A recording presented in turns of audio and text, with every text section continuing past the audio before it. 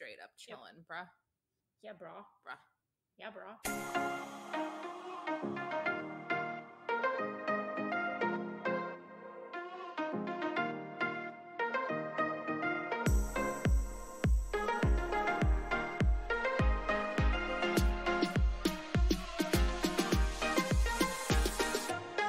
Everybody. Welcome to Literary Lushes with your host, Samantha. And Megan.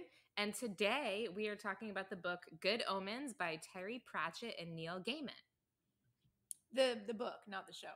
But we will eventually talk about the show. But right now we're talking about the book. Yeah, well, like, you know, The show's based off the book. we're gonna we're gonna warm up the oven with the book and then we'll get to the show as like, you know, Sounds good. So our drink that we did, um, the first drink decisions, decisions.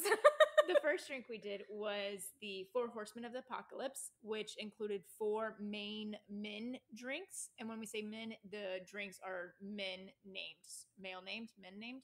Anyways, so we Man had muffin named. yeah, so we had Jim Beam, Jack Daniels, Jose, and Johnnie Walker. Yeah. And then also had some pineapple and lime juice in it, And a little bit of simple syrup. and a little bit of syrup, a lot of simple syrup. A lot of simple syrup. Um, the drink's really strong, really good. Uh, and then for our Patreon exclusive members, uh, we did a true for Horseman Apocalypse shot. it was rough. It, it was super rough. And if Mhm. you are not a patron, you'll go you'll want to go to patreon.com and sign up because it is well worth just probably to watch us take that shot.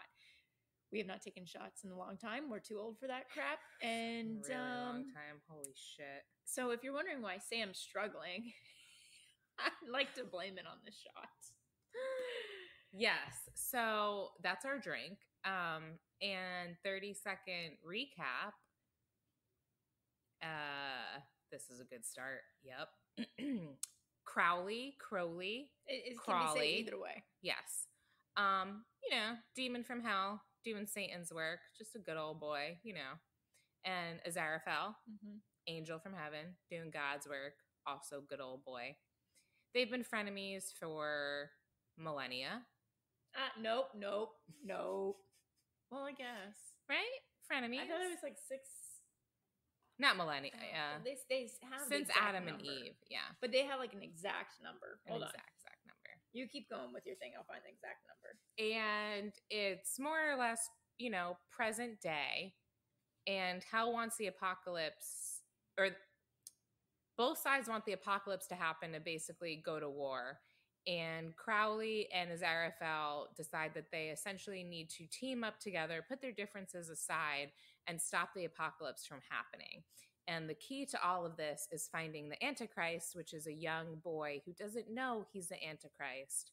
And, you know, there might have been a couple mix ups along the way, and British humor ensues, and the Four Horsemen of the Apocalypse make an appearance um, as a biker gang. And I think I think I covered all the bases. Okay, good because I wasn't listening. Oh, So I can't check Four it. Horsemen as a biker gang. Yep. British humor. Yep. Apocalypse. Y- Yes. Antichrist who doesn't know he's an Antichrist. Yes. And the two angels up. trying to make them good and make them evil so that they can stop the apocalypse because they're both an angel and a demon who love Earth hmm and they go against. They don't want to go back to the underworld and the upper world. They No. want to stay in the middle world. Yep. Middle Earth, if you will. And they said it was created in 4004 BC. So whatever that is. I don't know how many years that is. Anyways. Millennia, a thousand years, right? A thousand. Oh, I guess so, yeah. See, I know what I'm Okay, talking I about. guess I I'm going to take another drink of my Four Horsemen of the Apocalypse and continue to sweat. This is this is great. um So I loved this book. Oh my gosh, I loved it so much. Um I saw the TV show first and then read ish the book. I I pretty much just listened to it. I bought it on audiobook. Still counts as reading it. Yeah, because um I had a lot of packing to do. I had a lot of cleaning to do, a lot of driving I had to do in the past week.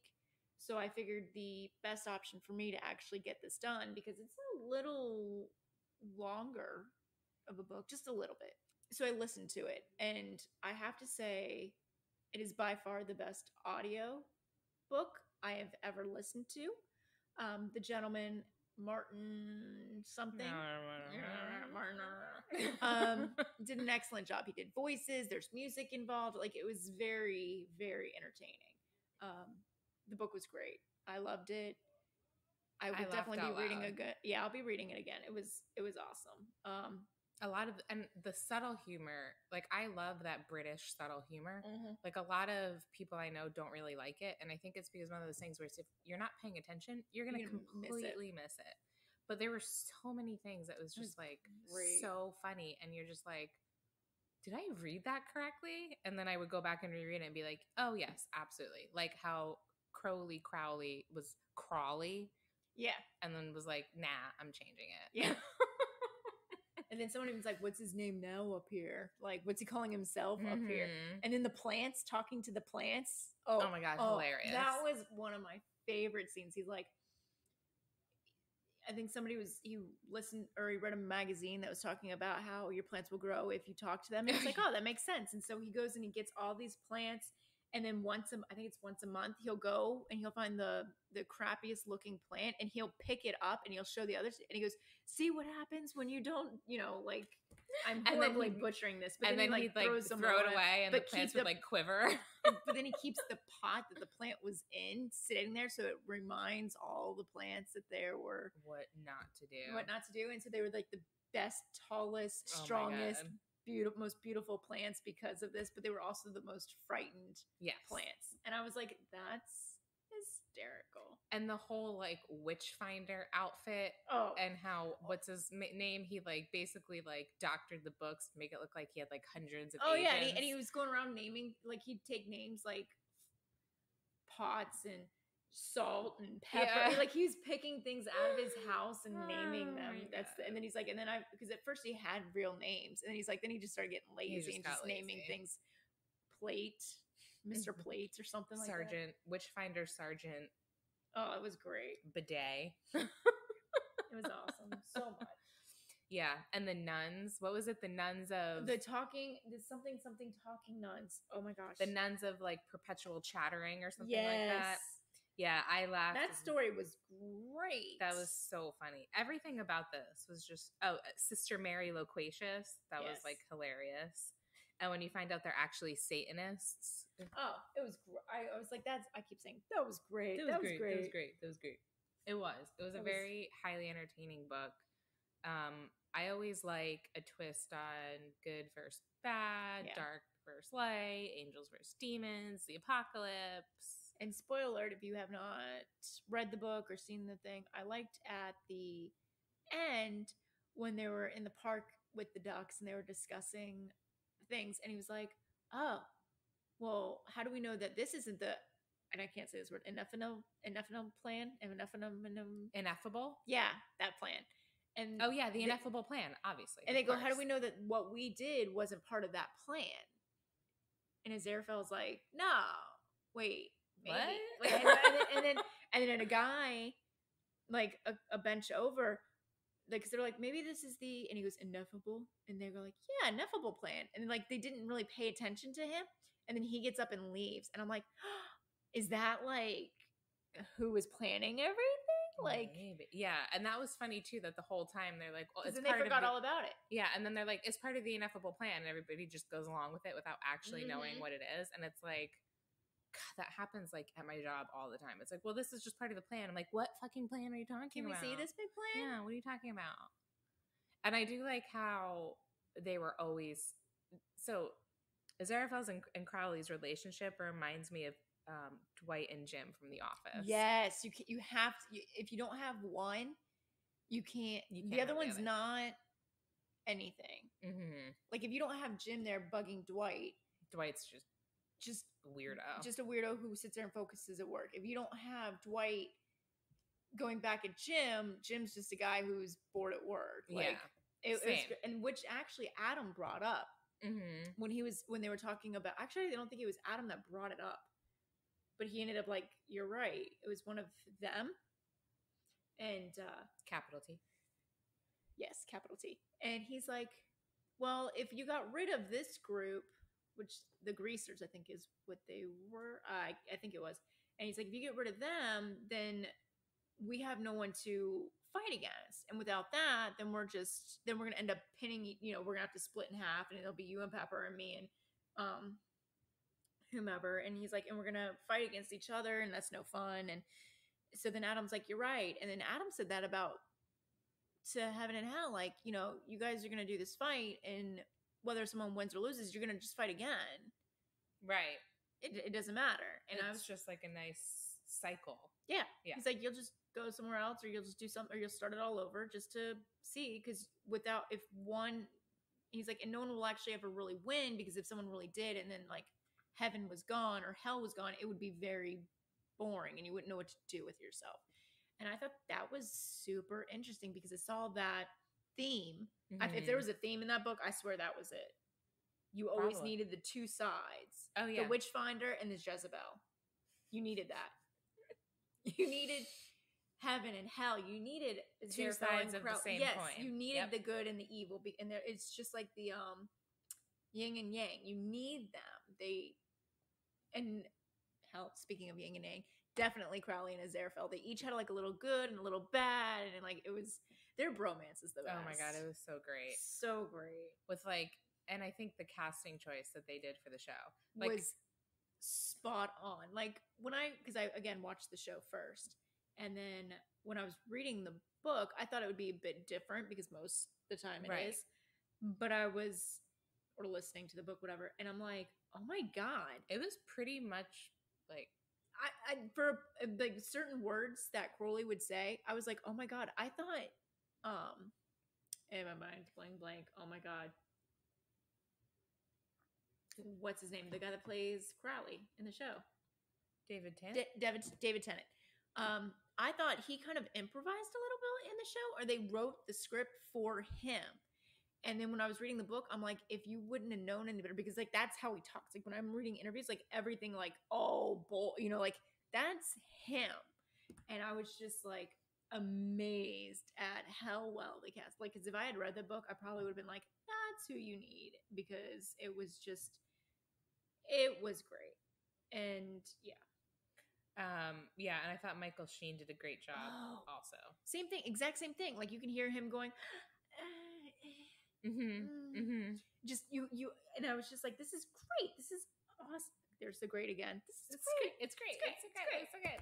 Yeah, I read the book first and then I watched it. And so at first, I was like, "Oh, really? Like Michael Sheen and David Tennant, right?" Because when you read the book, you have like a whole picture in your mind, Mhm. and I didn't have like fully fleshed out characters per se. Okay. Um, but I also think the fact that there's a Crowley and Supernatural probably didn't help. Probably not. I think that's where I struggled when I started watching the show. Mhm. So it's probably the same thing. First off, they pronounce it differently. And the guy who plays Crowley in Supernatural does a great job. He does. even though like they're completely separate characters, but they're both demons from hell. They Who both, are good and evil, and they kind of like the human world a bit, right. Same name, sort of sort of. pronounced a little Crow- differently. Crowley, Crowley. Um, So I can see where you're saying that. Yeah. but so when I was reading the book, I couldn't help but insert him into my but I picture. could, but I could also not concede the actor, um, Sheppard, Mark Sheppard. No, is it Mark Sheppard?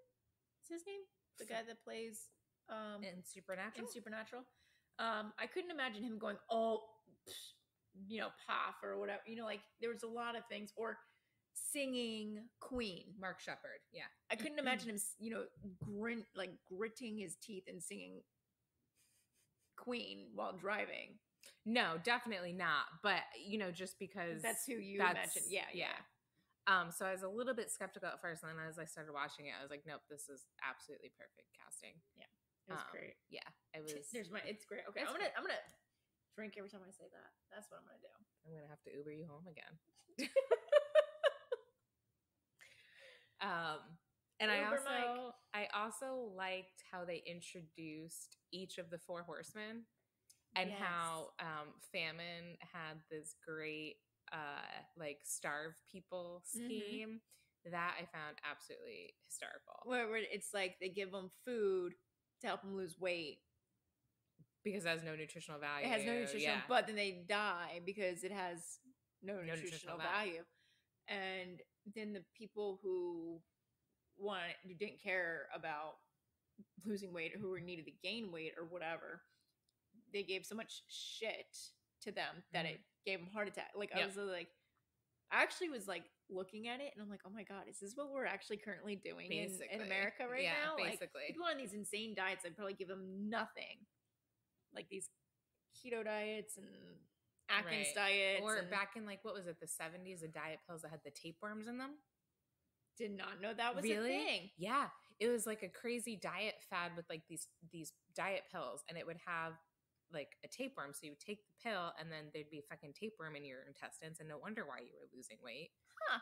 hmm Speaking of, we're going to be doing a Patreon only workout video at some point in time. Probably early summer. Yeah. Um, so uh we'll post little, you know, a little shout out when that goes up and you guys will definitely want to see that because it'll be centered around drinking, obviously. Yes. Um I'm real excited for it.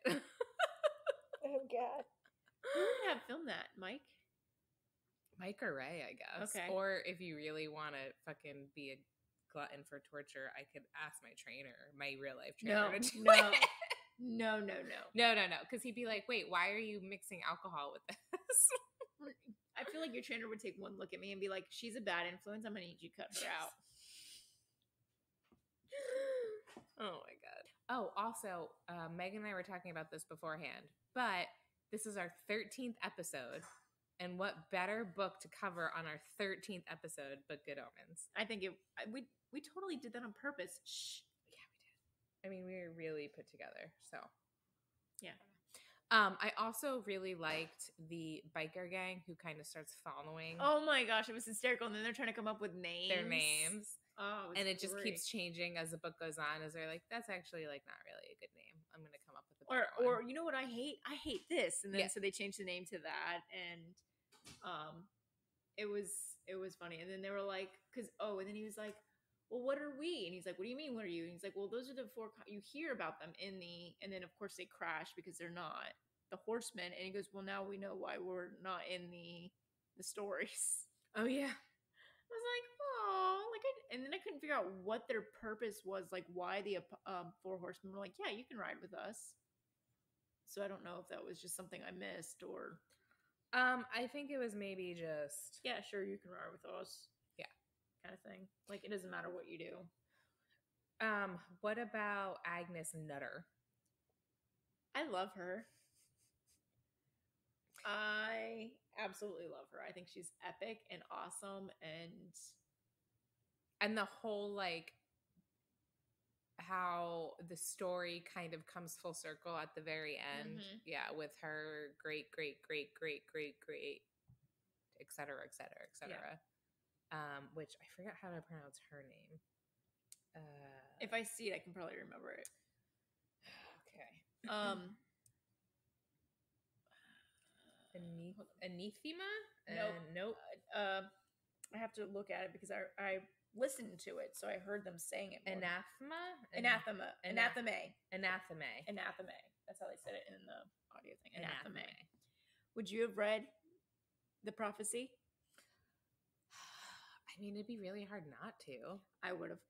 She set your whole family up before you. right Like, yeah like How do you know that your part isn't important in it? Like, I don't know. It's part of the ineffable plan. Yeah. I don't know. She she treated her whole family good up to that point. Like, and then kudos for her for being like super awesome and helping her family in that way. Mm-hmm. Like, she could have totally been like, "Screw you guys, you guys can do it your own way." But I thought it was super awkward though that she was like, "Yeah, you're totally gonna have sex with this this random guy," and And the world's gonna end, but Yeah. almost, but not quite. I mean, it was the nice and accurate prophecies, so they are nice and accurate, yes, nice meaning accurate. right? Now I'm trying to find what's his face's name. We should Oh, have wrote all the names down. Shadwell. No, not Shadwell. He's hysterical. No, what's his face? Is his person Newt. Newt? That's what it was. We should have wrote all the characters. I know. out. I'm terrible. Like I, we did bad. Yeah. Um, but Newt, when he he was like, "Wait, my libido went down because just the thought of an old lady sitting there watching. Ugh. But then apparently that did not stop him. And then he was like, "Hey, can we do it again?" She's like, "Nope, you got to shower." The prophecy says we only do it once. Bye. and you're gonna need a shower and get the plaster out of your head because we're Mm. gonna, you know. And she's Mm. like, "My goodness, you really should have. Mm. You must have bumped your head." And he goes, "Uh, actually, that was during, uh, you know, Wink. it was great. I like to think they get married. So, but there isn't a sequel to this book. Hmm. But I think that it wasn't canceled on Wink Netflix. So if you missed that whole debacle, um, there's a big, huge petition going out to get Good Omens canceled off of Netflix. And the hysterical part of the whole thing is that it's a I don't even know if I want to say it because I don't want them people to understand they won't listen to this because it's good omens. Um it's an Amazon Prime. That's what I was gonna show. say. It's not even on Netflix. No. They have you got to look this up, but they like so the Netflix came out and was like, "Sure, sure, we'll cancel Amazon Prime." And then Amazon Prime's like, "Oh, well if you cancel that, we'll cancel." And it was a Netflix show that they said they'd Okay. cancel. So they were like totally having That's fun why I with these was like looking at you like, what's going on? Like it's not on No, Netflix. no, but I'm not kidding. There was like a big, huge. I can't remember the amount of number, but of the of um, petitions signed to get Good Omen canceled and not even continuing airing, and they thought it was for Netflix. Let's see. I'm gonna Google it right now.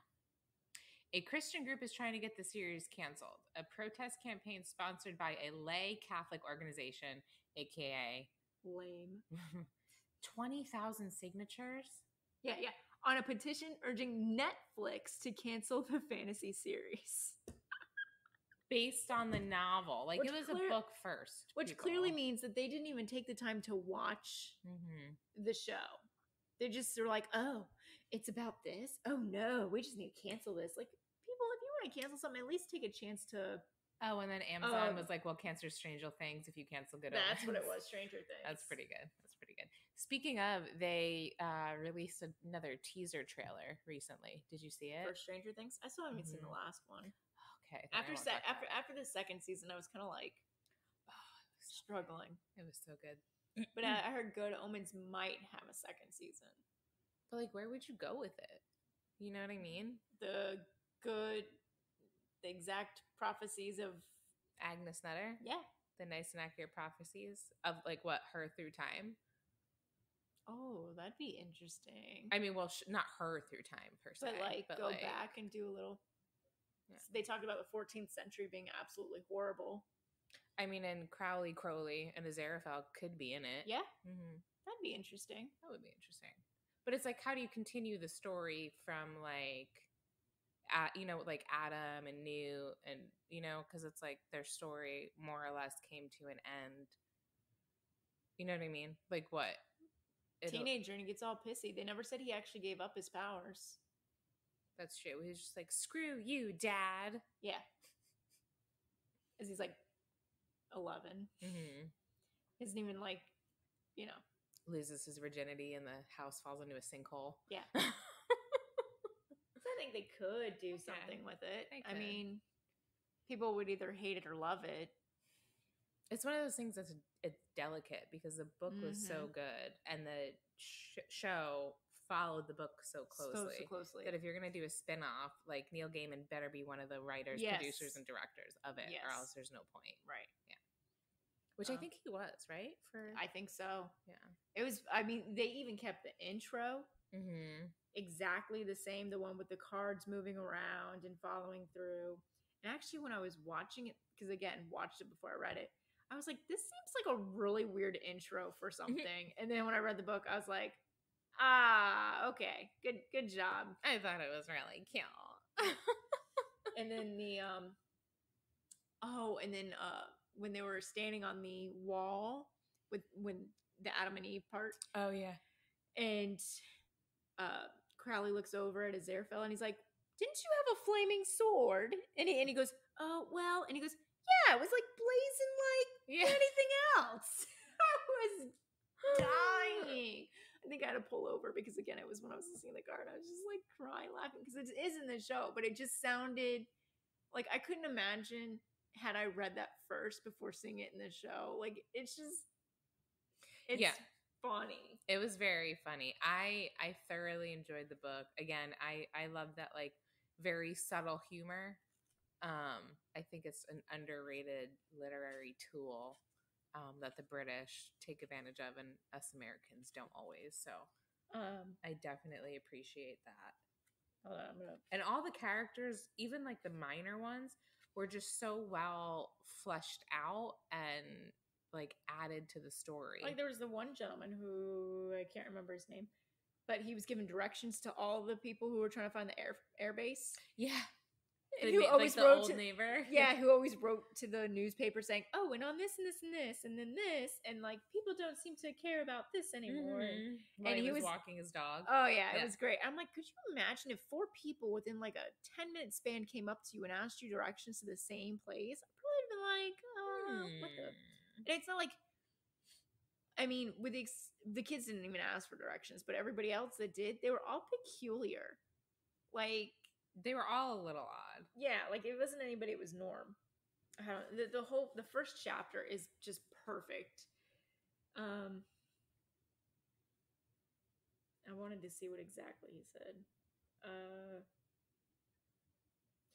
oh, eventually Crowley said, "Didn't you have a flaming sword?" And he's like, "Er." Uh, said the angel. A guilty expression passed across his face and then came back and camped there. You did, didn't you? said Crowley. It flamed like anything. Uh, well, and then it's like, it looked very impressive, I thought. Yeah, well, lost it, have you? Mhm. Oh, no, not exactly. More, well. And then it's like, if you must know, I gave it away. And then there's the part with I love all the footnotes. Oh, yeah. And it's like there's a bunch of footnotes about the flaming sword. And it's like footnote 25. And the Lord spake unto the angel that guarded the eastern gate, saying, Where is the flaming sword which was given unto thee? footnote 26. And the angel said, I had it here only a moment ago. I must have put it down somewhere. Forgot my own head again. Footnote 27. And the Lord did not ask him again. I did like in the audio part, it did read the footnotes too. I mean, it has to. The footnotes add so much to it. It did, and they read it in the sentence. So if it started out in the sentence, and then you know how it has the little, The little Ash- footnote number or whatever. yeah, it reads it as the next sentence. Oh. so it goes right oh. in it. And I'm like, oh, is that how you're supposed to be reading footnotes? Well, it's hard sometimes because sometimes a footnote happens like in the middle of a sentence, and Yeah. it's like, do I stop mid sentence? He, the uh, audio uh, people did. Oh, okay. You learn something new every day. Usually, I finish a sentence and then read Right. it. Right. No, he did it. That's how they read it, anyways. Okay. And I enjoyed listening to it that way. And I'm like, oh, well, now I know. And now I think, I know. uh, although mean, that one book, that one book we read that was just all footnotes that we didn't finish. The one book we read, Liberated was- Spirits. Oh, that was fucking rough. because that had some that the half the page That was like a history book. Oh, a history book read better than that. Yeah, because a history book was abridged at least usually. Yeah, this that was torturous.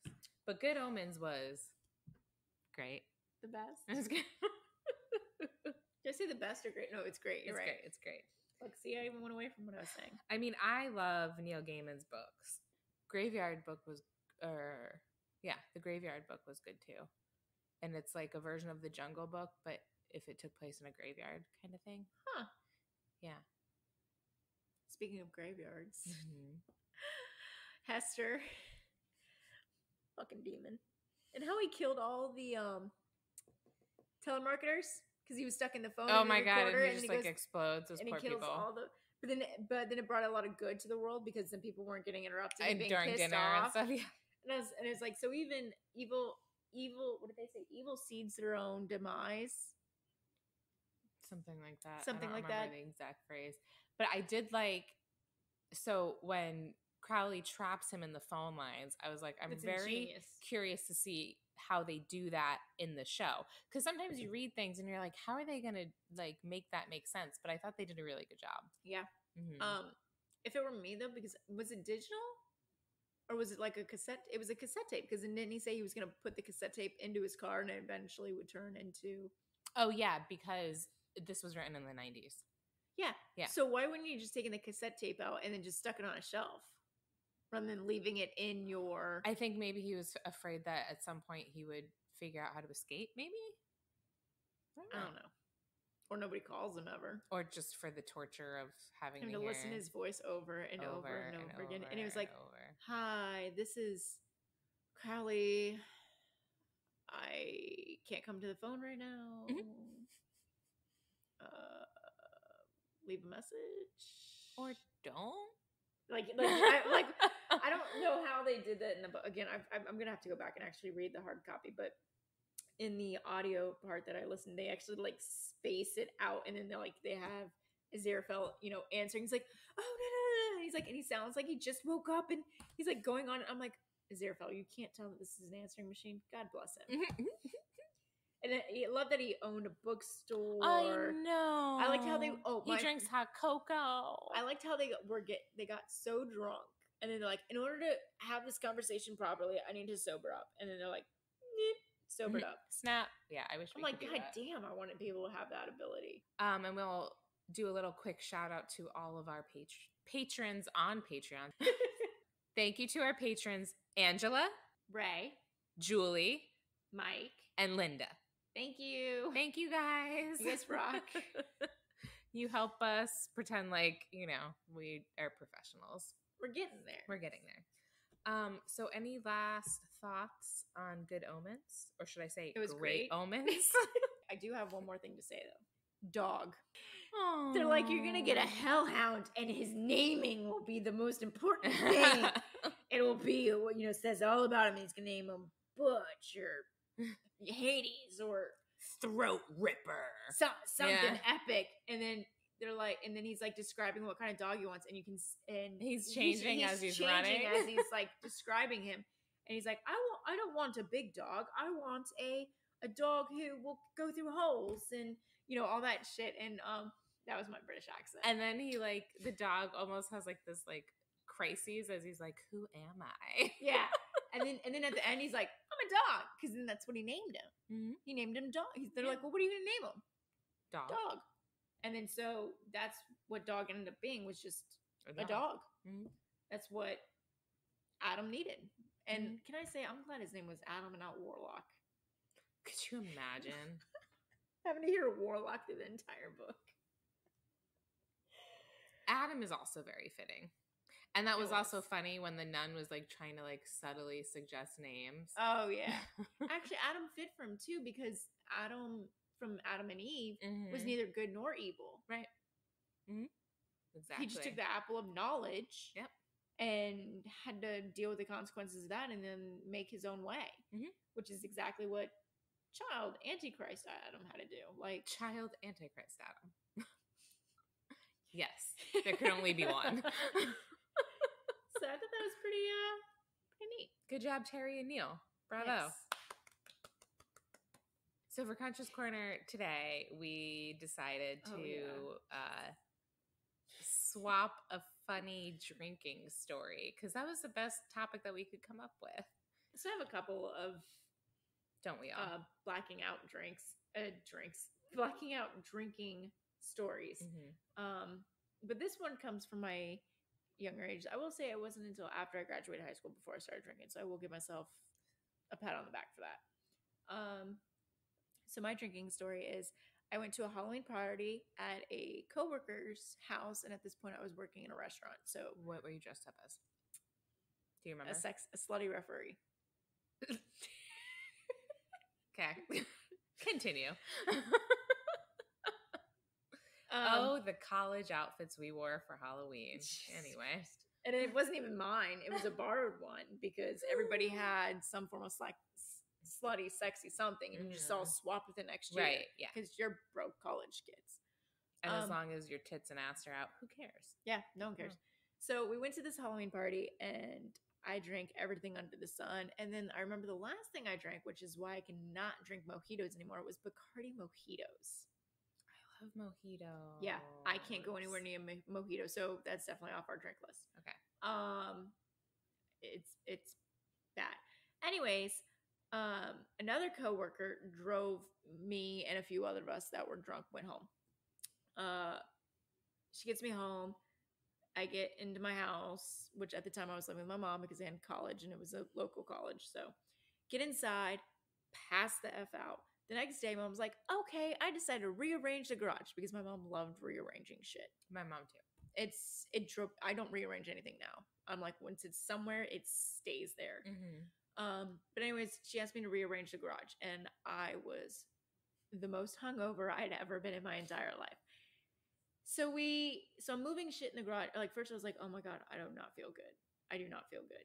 And if you've ever been hungover, it's the one where you get like that hot on your inside, like of your body, and you just feel lightheaded at the same time. It is like, Oh, yeah, like feverish from the inside oh out. yeah, and you want to throw up the entire time and just black out. Oh god. So that's exactly what I did. So I was moving stuff, and I had my great great grandmother's china that I was moving. That's old China. It is old china. So I'm carrying this, and it was actually mine too, which I definitely didn't want to break. And I was like, oh my God, I'm gonna be sick. So I gently set it down, which is probably the only good thing I did. Mm-hmm.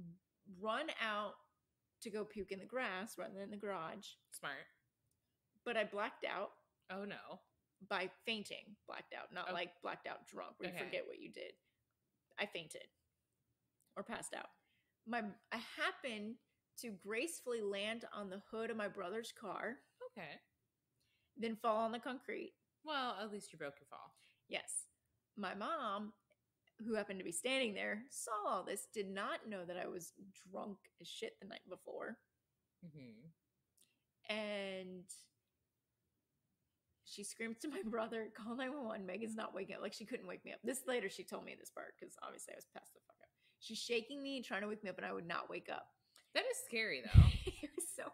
So then at one point, I think my brother was just getting ready to hit the send button on 911.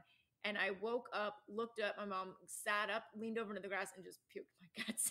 oh god. Oh god. then my mom hit me upside the head and said, Get your ass back into bed. What are you hung over? And I was like, Yes. And she's like, Go to bed. I don't even want to look at you the rest of the day. oh god. I could tell you a story about that- so- parental disappointment. so, so uh, my story is not nearly as good as yours, but that is the sort of funny story that I drunk story that just it was more the day after, but it was def- but I think I was pretty much still drunk the next oh day. That's the worst. When you wake up and you're like, why am I still drunk? Oh yeah, because it's not like cool drunk, it's the Nope, it's the like, please let this trip be over drunk. yeah. And then you're like, oh, but God, this is gonna be the worst hangover. So then I really don't want it to end at the same That's time. That's why I like day drinking now because you're done by like two o'clock. And then like you take a nap, you wake up, you're fucking ready to go. It's like great. Anyway, so my story. this too was my younger years. Um I went to college in New Orleans and the school I oh God, it was like really the best thing ever because we would have spring break where we would get time off, but we'd also get time off for Mardi Gras because the school knew people would not come to class during Mardi Gras. Right. So it would alternate every year. One year we'd have a week off for Mardi Gras and then a four day spring break. And then the following year we'd have four days off for Mardi Gras and then a week long spring break. So we basically got just like a couple extra days. Right. I don't remember what it was this year, but uh, first time freshman in college, so not 21, in New Orleans during Mardi Gras, go out and party with all my friends.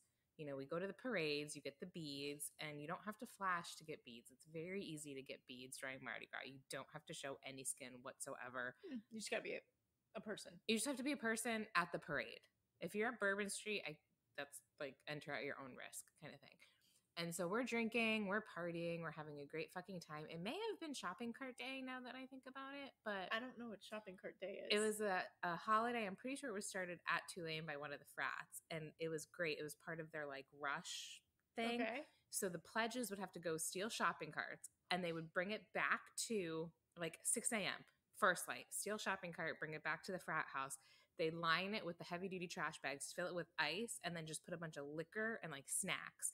And because Tulane was uptown and the parades would, would go down St. Charles to downtown. So then you would take your shopping cart full of liquor and you would just follow the parades downtown drinking. And then once the shopping cart was empty, you would just leave it wherever you left it.